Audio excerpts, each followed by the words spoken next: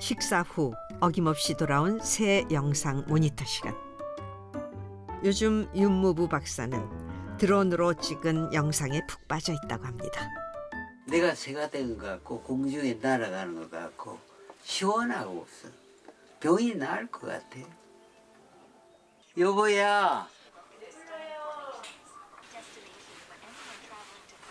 왜? 여보, 예. 나 드론 그 촬영한 거 보니까 어. 야, 너무 기가 막혀. 좋지. 병도 낫겠어. 이렇게, 눈으로 이렇게 보는 것만 네가 참 즐거운 일이에요. 그래서 드론을 하나 살라고 그러는데 당신 좋지. 드론도 좋은데. 도와주면 안 돼. 당신 몸 상태가 그런데 뭘 욕심을 그런 건데 내고 그래요. 남이 찍어놓은 거 보는 것만도 고맙게 생각하고. 나 죽기 전에 한번 드론으로 맨날 죽기 전에. 죽기 전에 하는 게 17년이고 노상노상. 사다 쌓아놓는 게일 있잖아 아, 당신이. 나 죽기 전에 소원 하나 풀어줘. 당신 맨날 죽기 전인데도 잘 안 죽어. 다 된 것 같아. 아니야. 너무한다. 너무해도 할 수 없어. 목구멍이 포도통이라 먹고 살아야 돼. 신경질나. 한국에 하도 그냥 뭘 산다고 하면 아주 신경질나 죽겠어. 시끄러워. 새를 사랑하는 만큼 장비 욕심도 많다는 윤무부 박사.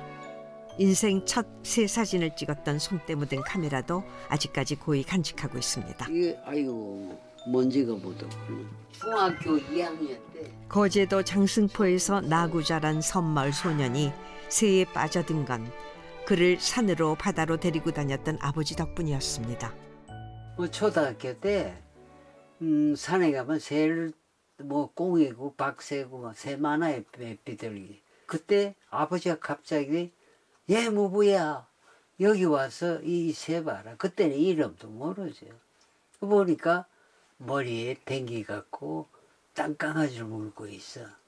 와 너무 신기한 거 인디아 추장 같아.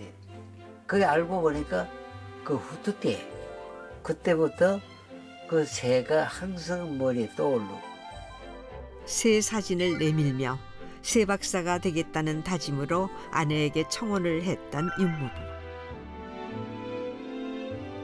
전국 방방곡곡을 돌며 새를 보러 다니는 아버지를 보며 자란 그의 아들도 대를 이어 조류학자가 됐습니다. 윤무부 박사의 삶에 있어 새는 그야말로 모든 것. 음, 뭐 가족보다 우선 새를 좋아하시는 분이니까 저렇게 지금까지도 지금 열심히 새만 쫓아다니시잖아요. 장비 구입해서 신형 나오면 또 새로 하여튼 또 사진 찍는 거 보면 시대상이야 시대상. 체구도 적지만 한 정열적인 사람이야.